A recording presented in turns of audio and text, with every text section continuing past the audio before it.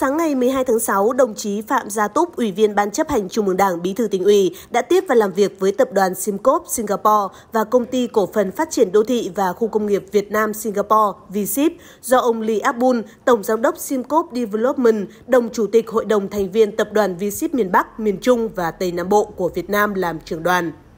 Cùng dự buổi làm việc có đồng chí Phạm Đình Nghị, Phó Bí thư tỉnh ủy, Chủ tịch Ủy ban Nhân dân tỉnh và lãnh đạo một số sở ngành của tỉnh và huyện Giao Thủy. Dự buổi làm việc còn có ông Huỳnh Quang Hải, đồng chủ tịch Hội đồng thành viên VSIP miền Bắc, miền Trung và Tây Nam Bộ của Việt Nam.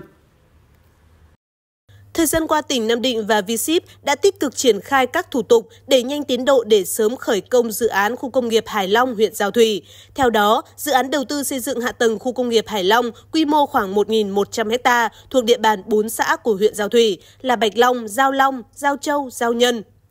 Khu công nghiệp Hải Long là khu công nghiệp đa ngành, có công nghệ sản xuất tiên tiến hiện đại và thân thiện với môi trường. Đồng thời, khu công nghiệp Hải Long giữ vai trò quan trọng trong việc kết nối và hỗ trợ giao thương, thúc đẩy kinh tế xã hội của huyện Giao Thủy nói riêng và của cả tỉnh nói chung. Tại buổi làm việc, đồng chí Bí thư tỉnh ủy Phạm Gia Túc và đồng chí Chủ tịch Ủy ban Nhân dân tỉnh Phạm Đình Nghị đã giới thiệu khái quát về tiềm năng lợi thế, chính sách thu hút đầu tư vào tỉnh và tình hình phát triển kinh tế xã hội của tỉnh hệ thống kết cấu hạ tầng kinh tế xã hội của tỉnh được quan tâm đầu tư, nhất là hệ thống kết cấu hạ tầng giao thông đã và đang được đầu tư đồng bộ, kết nối thuận tiện, thông suốt với hệ thống giao thông quốc gia và khu vực.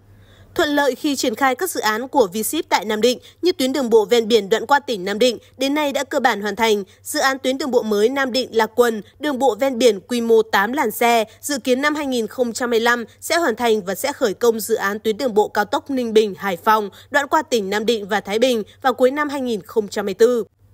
Bên cạnh đó, hạ tầng các khu kinh tế, khu cụm công nghiệp đáp ứng nhu cầu của các nhà đầu tư. Nhiều năm liền tỉnh Nam Định nằm trong nhóm dẫn đầu cả nước về giáo dục và đào tạo với hệ thống các trường đại học, trường cao đẳng và một số trường chuyên nghiệp dạy nghề. Mỗi năm đào tạo hàng nghìn kỹ sư công nhân kỹ thuật bậc cao đáp ứng nhu cầu tuyển dụng lao động của các nhà đầu tư. Bên cạnh đó, công tác cải cách thủ tục hành chính được đẩy mạnh, tạo môi trường đầu tư thuận lợi, thông thoáng cho các nhà đầu tư.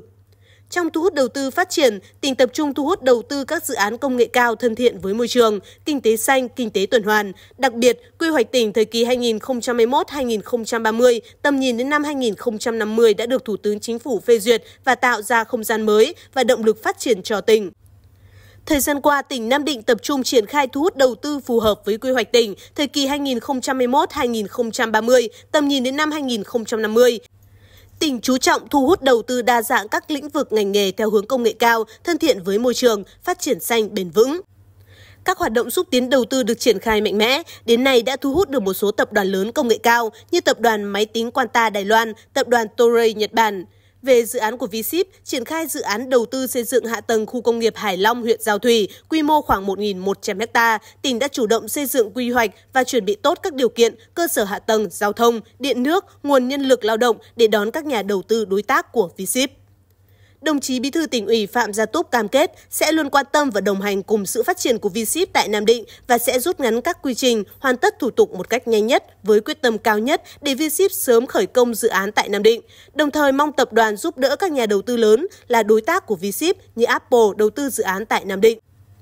Đồng chí Bí thư tỉnh ủy khẳng định, tỉnh Nam Định luôn quan tâm và hỗ trợ giải quyết nhanh chóng các thủ tục đầu tư cho doanh nghiệp nước ngoài thông qua cơ chế một cửa nhằm đảm bảo thời gian ngắn nhất và hiệu quả nhất. Phát biểu tại buổi làm việc, ông Lee Akbun, Tổng Giám đốc Tập đoàn Sipcop, cảm ơn sự đón tiếp nồng hậu chu đáo của các đồng chí lãnh đạo tỉnh Nam Định, đồng thời đánh giá cao về môi trường đầu tư và sự quyết tâm của tỉnh Nam Định trong việc đẩy nhanh tiến độ triển khai đầu tư để sớm khởi công dự án của VSIP. Nam Định thì nằm ở một cái vị trí cũng rất là thuận lợi à, với à, kết nối với Hà Nội và Hải Phòng à, cũng như là với cảng nước sâu. Thế và tôi nghĩ rằng là Nam Định có một cái vị trí cũng rất là đẹp và thuận tiện cho các nhà đầu tư đến với Nam Định và với cái hạ tầng mà hiện nay chính quyền địa phương đang cải tạo, thì tôi nghĩ rằng là sẽ là một cái cơ hội rất là lớn để cho các nhà đầu tư có thể đến với Nam Định để đầu tư. Khu công nghiệp Việt Nam Singapore được phát triển bởi liên doanh giữa Tổng công ty Đầu tư và Phát triển Công nghiệp và Liên minh Nhà đầu tư Singapore và Tập đoàn Simcop dẫn đầu với 12 khu v tại 9 tỉnh thành ở Việt Nam. À, đối với à, vấn đề về Nam Định thì chúng tôi cũng nhận được rất là nhiều à, những cái cam kết từ phía à, chính quyền địa phương. À, tôi chắc chắn rằng là à, VSIP à, cũng à, sẽ đầu tư à, một khu công nghiệp Ờ, tiêu chuẩn ở Nam Định. Ờ, à, VSIP thì là sự hợp tác giữa BKMX, giữa tập đoàn BKMX và tập đoàn Semcorp của Singapore, BKMX của Việt Nam và Semcorp của Singapore à, với rất nhiều các khu công nghiệp ở trên à, các tỉnh ở Việt Nam. Và tôi nghĩ rằng là à, Nam Định cũng sẽ là một trong những cái địa điểm mà VSIP lựa chọn để đầu tư một khu công nghiệp. À, chắc chắn là sẽ à, thu hút được rất là nhiều các à, À, công ty, các nhà đầu tư có tiềm năng đến với Nam Định. Tổng giám đốc tập đoàn Simcoop và tập đoàn Vship mong muốn tỉnh Nam Định tiếp tục hỗ trợ tích cực để đẩy nhanh tiến độ thực hiện các phần việc liên quan để sớm khởi công dự án trước tháng 8 năm 2020.